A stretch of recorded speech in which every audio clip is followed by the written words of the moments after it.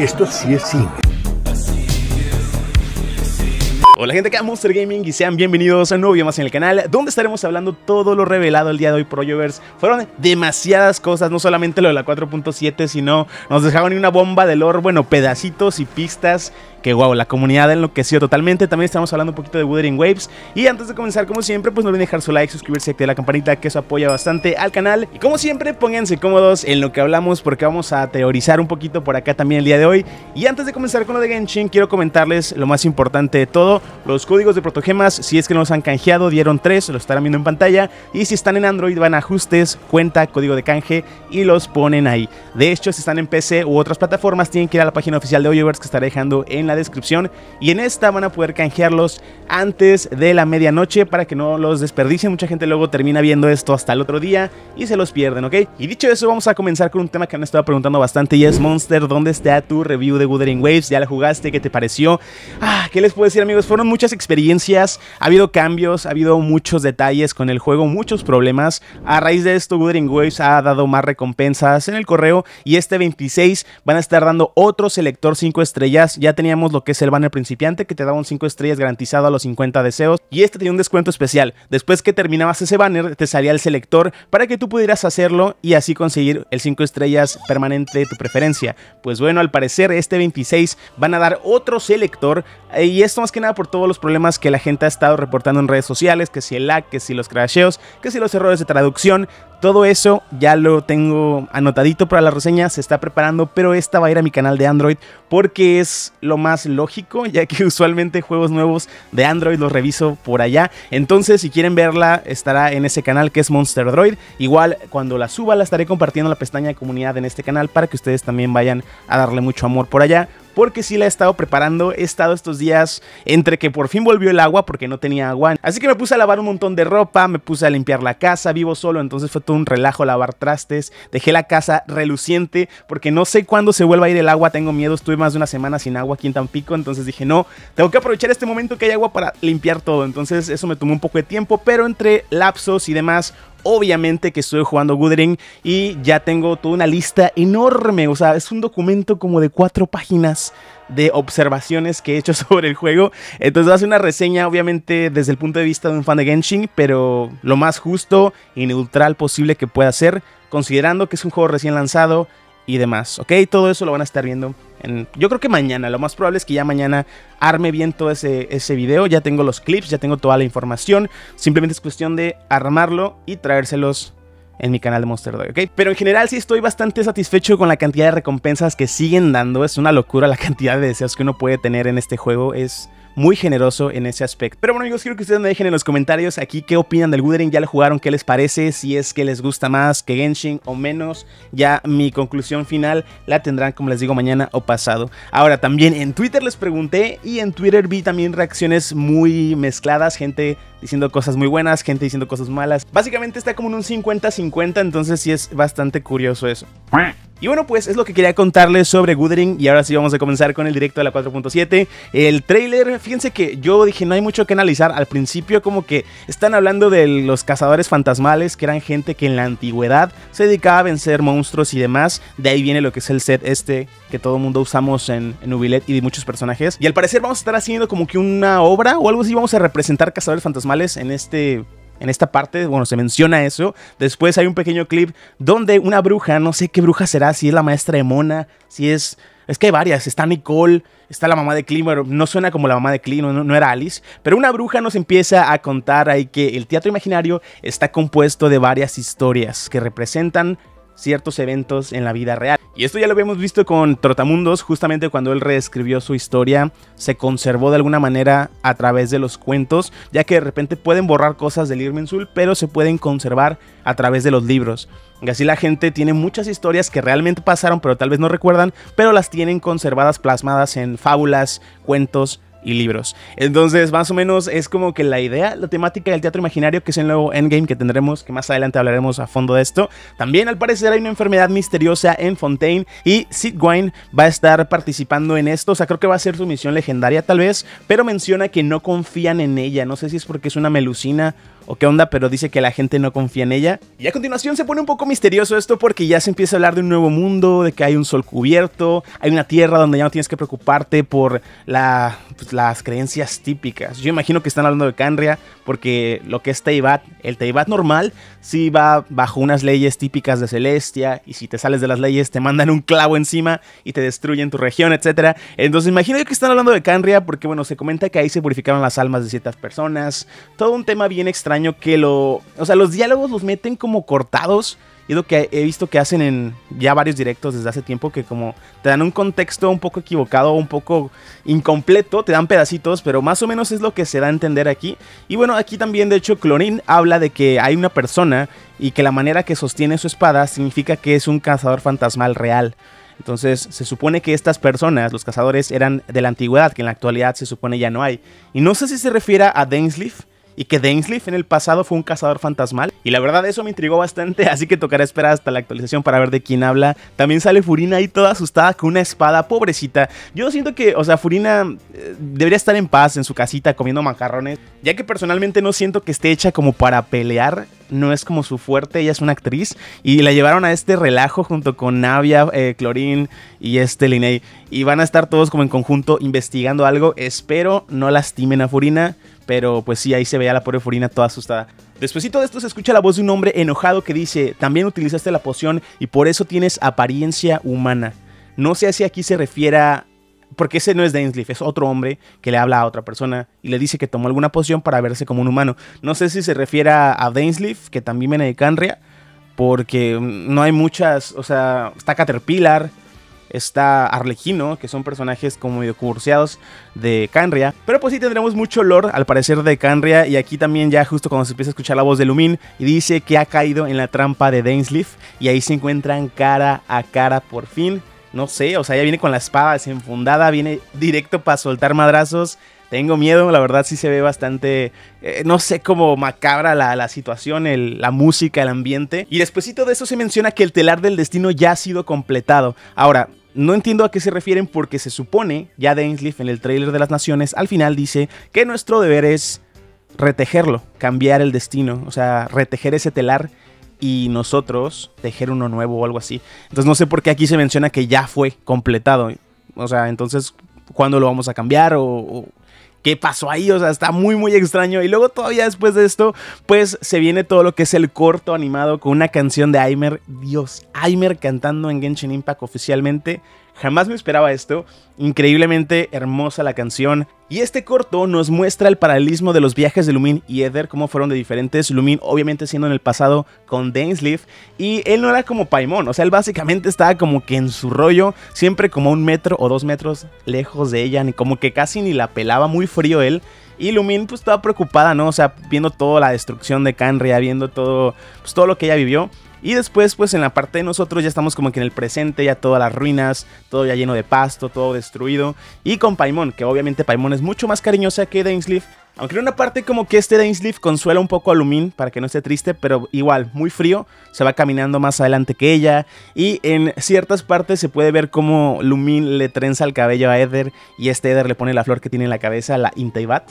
Y yo me quedé como de, guau, qué bonito. O sea, sí hubo un momento en el que se están acordando los momentos tal vez que estuvieron juntos. Y no sé amigos, pero esa parte sí me hizo chillar poquito. Dije, no, ojalá sí se puedan hablar un poquito más en esta actualización porque ya urge, pobrecitos. O sea, se vieron hace tiempo y nada más le dijo Lumin, mm, tendremos más tiempo para vernos, bye. Y se fue. O sea, eso fue demasiado cortante en mi opinión. Esperemos en esta ocasión puedan al menos convivir un poco, no sé. Y una curiosidad muy interesante que se puede ver en este corto animado es que Lumin, en lo que es todo el transcurso del mismo, siempre está con su elemento de la luz, siempre está con su espada. Y en el caso de Ether, que somos nosotros, siempre va cambiando elemento en cada nación y no tiene su espada, la perdimos. Entonces aquí es algo como que Lumin no la sellaron, Lumin sigue conservando sus poderes pero bueno, no sé, porque ahorita como que usa los del abismo, pero realmente, o sea, ella no tuvo la capacidad de llenarse de elementos como nosotros.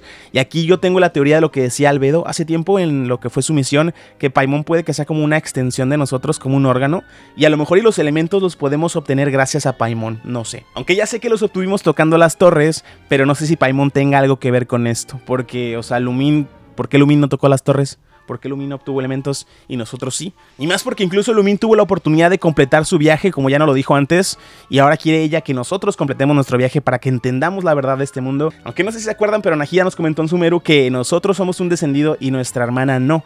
Entonces, a lo mejor y también tiene que ver eso, que seamos un descendido nos permite consonar o resonar con los elementos y Lumin no. No sé, es muy raro. Pero bueno amigos, ustedes quiero que me dejen en los comentarios qué más detalles notaron en este corto que estuvo hermoso. Y ahora sí vamos a comenzar con el contenido nuevo de la 4.7. Primero que nada los banners, lo más importante para muchos. Y como lo vimos en los leaks, la primera mitad van a ser Al Hassan y Clorin, la segunda mitad Furina y Sigewin con sus respectivas armas. Pobre Furina, siempre toca su espada con armas de vida y... Ah, no sé. En cuanto a los nuevos personajes, se anunció el kit de Clorin, que va a ser una personaje que trabaja con Pacto Vital. De hecho, esta recibió algunos cambios, algunos buffs en las betas, y ya quedó más o menos ahí a un nivel que mucha gente no está muy contenta, pero tampoco está pocha. Yo la veo como un personaje regular, no destaca tanto, pero igual es usable, no es mala para quienes quieran ir por ella, pero realmente sí, o sea, a pesar de los buffos que le hicieron, recibió algunos cambios medio extraños que a la gente no le gustó. Y para quien quiera saber de qué trata su espada, pondré aquí la imagen en pantalla con materiales de ascensión. Básicamente es una espada que te da daño crítico hasta un 44%. Y esta se llama la expiadora y te va a estar aumentando lo que es el daño crítico un 20% extra. O sea, en total te va a dar un 64%. Y aparte, cuando se incrementa el valor del pacto vital, el daño que inflige el portador de esta arma aumenta en un 16%. En la primera beta era de 12 y lo aumentaron hasta 16 en la versión final, lo cual está perfecto.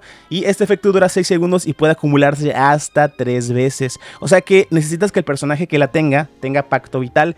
En un futuro ojalá implementen algún soporte 4 estrellas que dé pacto vital para que esta espada sea útil en más personajes. Eh, así más o menos como lo que hace Furina que te activa ciertas armas y artefactos en todos los personajes, pues esperemos en un futuro saquen a alguien que dé pacto, porque esta espada sí es muy buena, porque básicamente te va a dar un total de hasta un 48% extra de daño a tu personaje solamente por tener pacto vital. Y esto es muy muy útil especialmente para la gente las ballenas no que quieran refinarla. Este valor va aumentando muy considerablemente. Todos los datos valores información números porcentajes y eso va a estar en Honey Hunter en la descripción como siempre para quien quiera checar está en español y demás.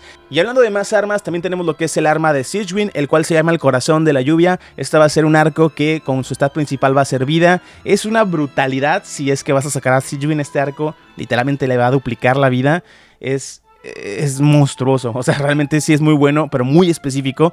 Ya que en nivel 90 te va a estar dando un 66.15% de vida.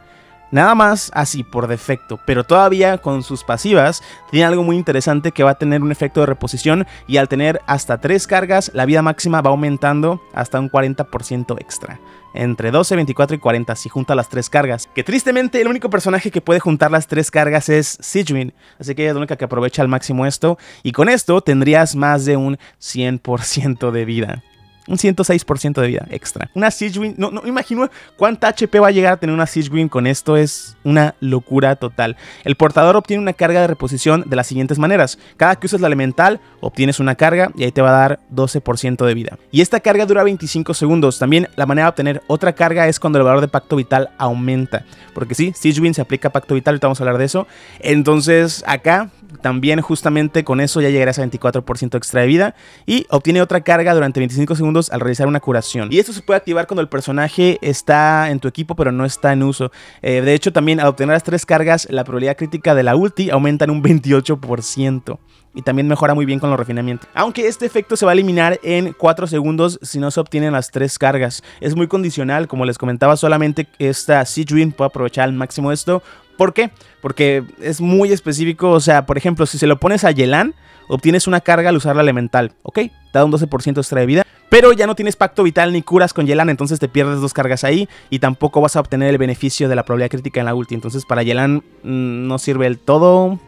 Y en cuanto a Diona, lo pensé también, pero Diona podría obtener dos cargas a lo mucho, o sea, porque tampoco Diona se aplica pacto vital. Entonces, si hubiese un personaje que aplicara Pacto Vital a Diona también será un buen arco en Diona, pero pues ven, es un detalle que ahorita se queda un poco incompleto y solamente funciona perfecto en Sijuin. Y eso, entonces toda la gente que le salga eh, intentando sacar la espada de Furina, pues sí va a estar bastante sad eso.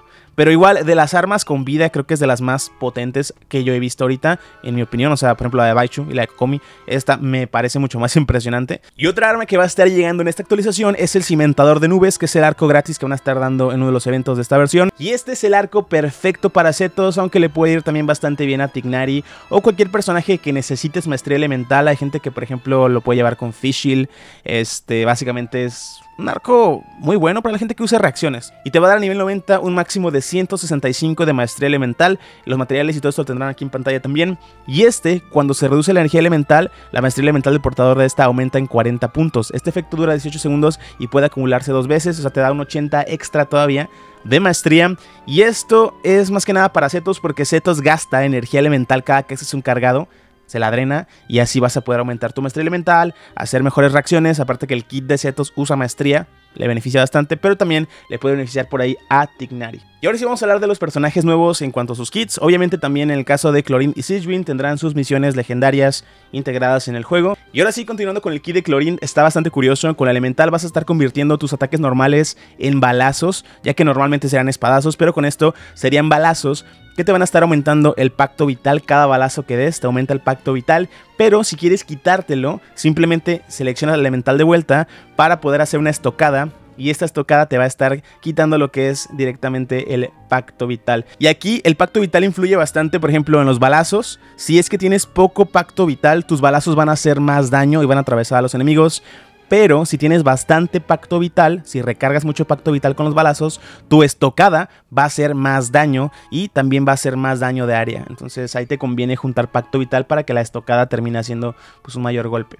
En cuanto a la ulti, va a estar haciendo daño electro de área y te va a estar dando también pacto vital basado en tu máxima salud. Y así con esto, con más pacto vital, vas a poder estar haciendo más daño con tus estocadas, que de hecho es la manera más ideal de jugarla. En cuanto a los talentos, tiene uno muy parecido a Nubilet, que cuando un personaje del equipo haga alguna reacción electro, por ejemplo electrocargado, sobrecarga, etcétera, el daño electro que ella hace va a estar aumentando.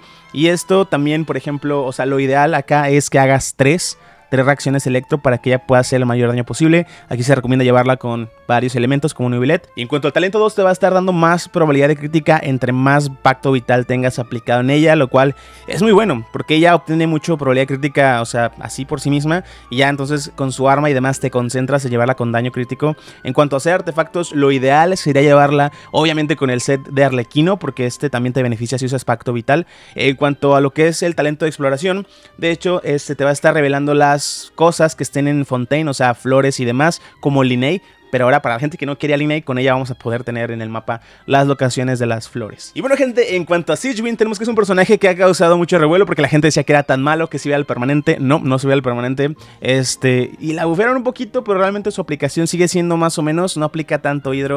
Y no amigos, no se ve al permanente en cuanto a lo que son sus ataques, va a estar haciendo pues ataques normales, tiene variaciones, o sea, da como flechazos de repente, pero también avienta pastillas como Doctor Mario. Em, en cuanto al ataque cargado, saca un corazoncito, así cada que lo dejes apretado va haciendo un corazoncito.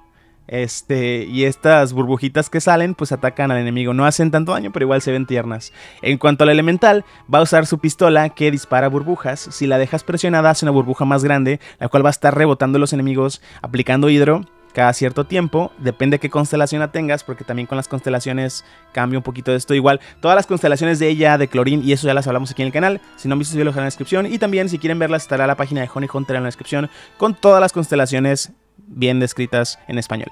Entonces, como les comentaba, ella va a estar encerrando a los enemigos, pero solamente a uno a la vez. Es algo que me decepcionó un poquito. Me hubiera gustado que encerrara a todos porque se ve muy divertido. Los encierra una burbuja corazón y esto les va a aplicar hidro mientras también va a estar pues curando a todos los personajes de tu equipo, lo cual es muy bueno porque es como Baishu. O sea, con la pura elemental vas a curar a todo el equipo súper rápido y esa es la función principal que yo le veo, aunque la gente diga que es mala, honestamente su curación es muy muy buena. Entonces tendremos también que esto, esta burbuja va a estar intercambiándose entre enemigos, o sea, no va a quedarse golpeando uno, sino que va a rebotar entre todos los enemigos que estén en el campo de batalla. Y pues sí, si tú disparas la burbuja cortamente va a ser una mini burbuja, si la dejas presionada más tiempo, ella va a ser una burbuja más grande. Y creo que hay una constelación que le da un escudo, no me acuerdo si es la 2 o la 3, creo que es la 2. Hay una constelación que le da un escudo para cuando estés haciendo la burbuja no te interrumpan. Un escudo hidro. Pero así por defecto no, no trae escudo.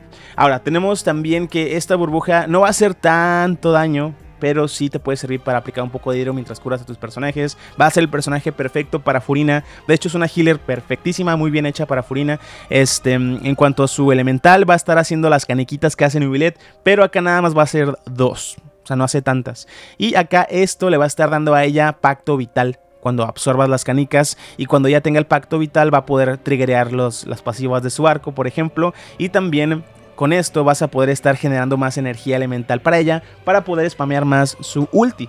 Que acá, bueno, su ulti es básicamente el cargado Nubilet. Saca su jeringa, te dispara un chorro de agua. Y en cuanto a los talentos, tiene un talento que va a aumentar su curación basado en el pacto vital que tengan los personajes en el equipo. Entonces, ahorita tenemos tres que se aplican esto, que serían ella, eh, Arlequino y Clorind. Y si ya la llevas con alguna de ellas y tienen mucho pacto vital aplicado, pues va a estar curando más Sichuin a los demás.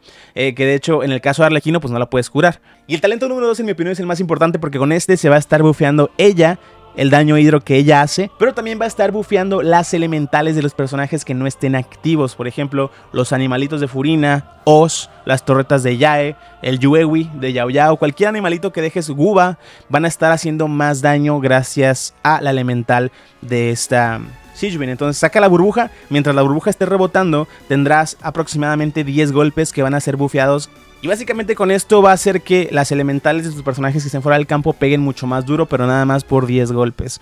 Es más o menos como lo que hace Yunjin con los normales, lo que hace Shenge con el crío, que te bustea como creo que en el caso de Shenge son 7 golpes. Bueno, en el caso de ella serán 10.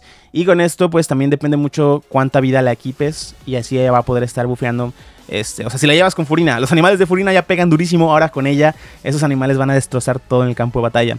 En cuanto a Zetos, tenemos que este personaje 4 estrellas Electro va a ser basado en dos tipos de ataques, o sea, no es solamente cargados como muchos llegarán a pensar. De hecho, eh, con el cargado, si es que tienes energía elemental y haces el cargado, absorbe su energía y lanza un cargado especial que atraviesa a los enemigos y hace bastante daño.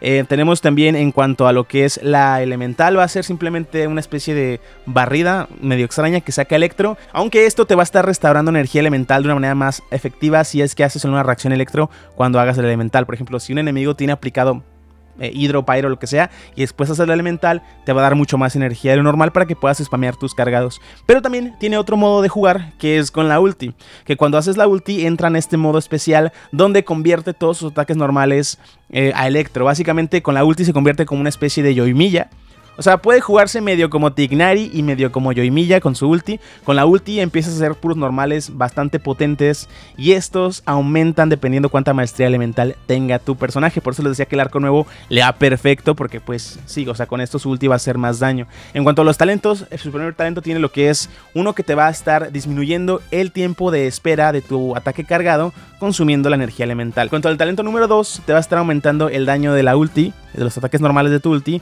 basado en tu maestría elemental. Y como talento de exploración te va a estar revelando las cosas que estén en el mapa de Sumeru, como las flores y demás, como Tignari, que te muestra, no sé, flores y esto. Y en cuanto a los tres personajes, como conclusión que les puedo decir, son personajes que no rompen los esquemas que ya conocíamos. O sea, por ejemplo, pues, Sijuin la puedes llevar en equipos con Furina, lo típico de siempre. Clorin la puedes llevar como si fuera otra Keching, o sea, en equipos donde Keching funciona, en equipos obviamente donde quieras hacer reacciones dentro, con ella se puede hacer, equipos de sobrecarga, por ejemplo, también, o sea, funciona muy bien. En el caso de Zetos, pues también lo mismo, o sea, lo llevas en equipos donde funcionaría Tignari, Fischl, él se comporta de maneras bastante similares con el tema de la maestría y las reacciones, o sea, son personajes relativamente normales, no están de que súper rotos, de que, oh my god, o sea, así como tipo este Nubilet, no. Y bueno, gente, dejando de lado todo este tema de los personajes, vamos a hablar ahora sí del el nuevo Endgame, el teatro imaginario, el cual ya dijeron que se va a requerir que seas nivel 35 para arriba.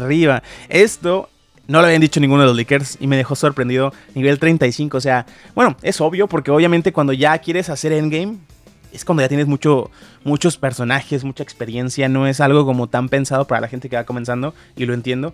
Pero bueno, tenemos que esto va a ser en la biblioteca de Lisa y va a ser también con toda la temática de las brujas. Se habla mucho de una bruja muy poderosa que fue la que hizo este teatro imaginario. No quieren decir quién es. Esas brujas son, de, o sea, el día que las revelen, Dios, qué, qué hype. Me da mucho hype porque yo soy muy de catalizador, soy muy de magos. En todos los RPGs siempre soy mago.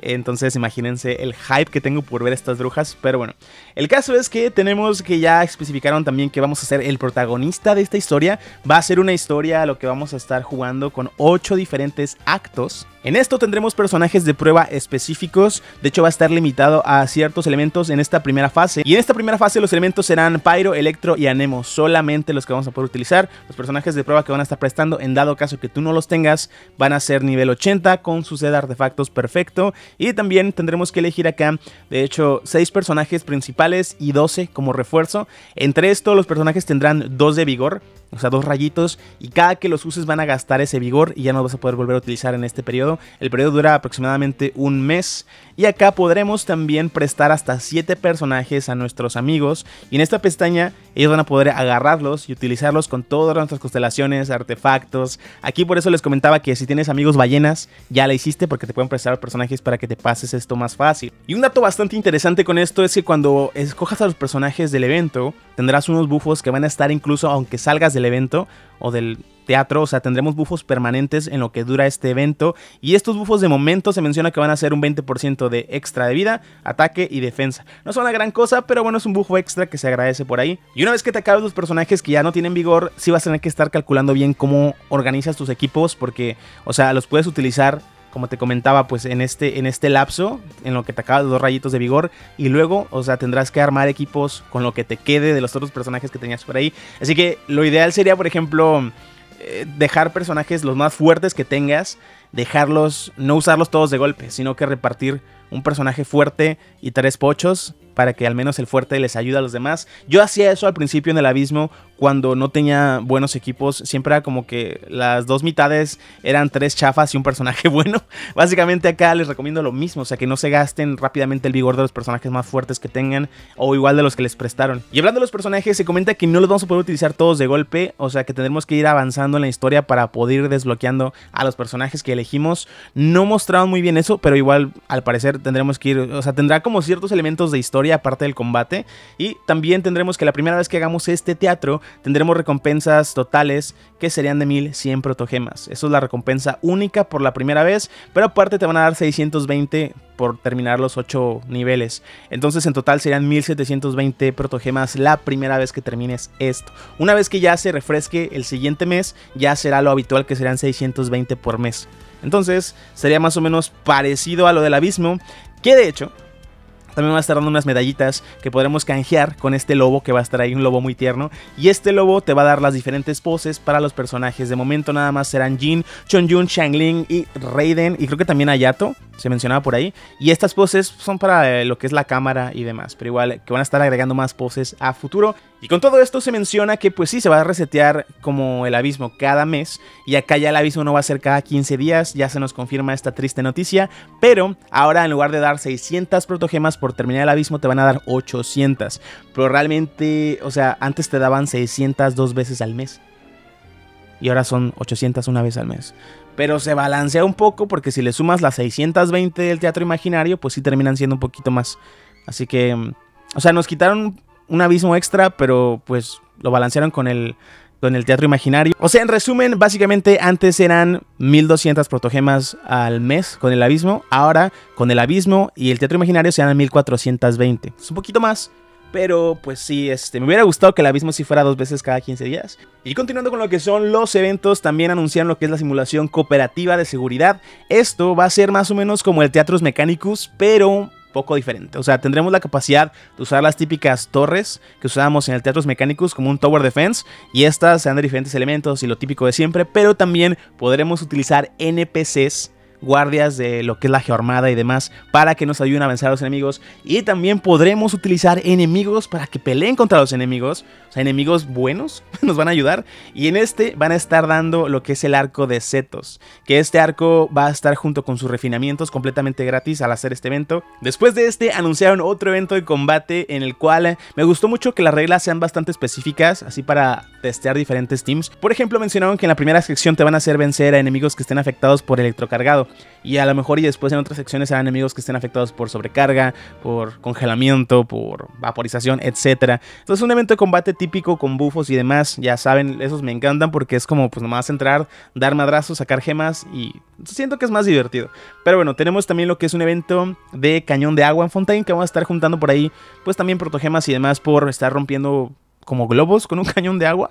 Y tendremos un evento también medio raro como que parkour, donde vamos a juntar monedas y demás. Tampoco me llamó mucho la atención. Y van a estar llegando cartas nuevas, las que van a estar viendo aquí en pantalla, al juego de cartas. Y en cuanto a las optimizaciones del sistema, pues son las que ya hablamos en el video anterior. Todo el tema de que van a aumentar la resina a 200. Tendremos también la sugerencia de stats en el tema de los artefactos. Te va a sugerir qué es lo mejor para tu personaje, si críticos, si vida, etc. Tendremos también el aumento de amigos a 100 y pues por último vamos a hablar de lo más jugoso que enseñaron al final de este stream, que son los saurios de Natlán, los cuales ya los hemos, bueno, ya sabemos un poquito de ellos porque ahorita tenemos un evento que nos habla de ellos, pero ya los vimos por fin en este trailer y me quedé en shock, amigos, porque parecen Pokémon, o sea, literalmente parecen Pokémon. Y a lo que estoy entendiendo de este trailer es que son como transformaciones. O sea, como que nosotros vamos a controlar al dragón. No me visualizo como que nos vamos a montar en ellos. Están muy pequeños.